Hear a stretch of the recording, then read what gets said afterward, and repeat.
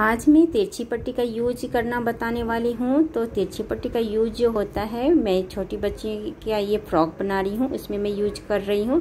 तो यहाँ पे स्लीव में और नेक पे हम इसका यूज़ करेंगे। तो ये हमारा तिरछी पट्टी है, इसे मैं डबल फोल्ड करके यहाँ पे यूज़ करने वाली हूँ। तो यहाँ आर्म होल में इसे इस तरह से डबल फोल्ड करते हुए लगाते जाना है और इसे कभी भी ज़्यादा खींच के नहीं लगाना है। इसे नॉर्मल हाथों से इसे लगाते हुए सिलाई करते जाना है। तो इस तरह से तिरछी पट्टी का यूज़ और भी जगह होते हैं, जैसे पाइपिंग बनाने में और डोरी बनाने में भी इसका यूज़ होता है। तो यहाँ पे देखिए मैं लगा चुकी हूँ और यहाँ पे मैं हल्के हल्के नोचेज लगा लूँगी ताकि हमें पलटने में इजी हो।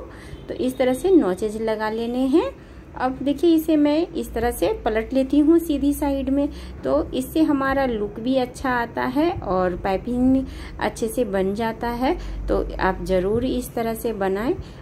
आपको अगर वीडियो पसंद आया हो तो लाइक करें और मेरे चैनल को सब्सक्राइब करें।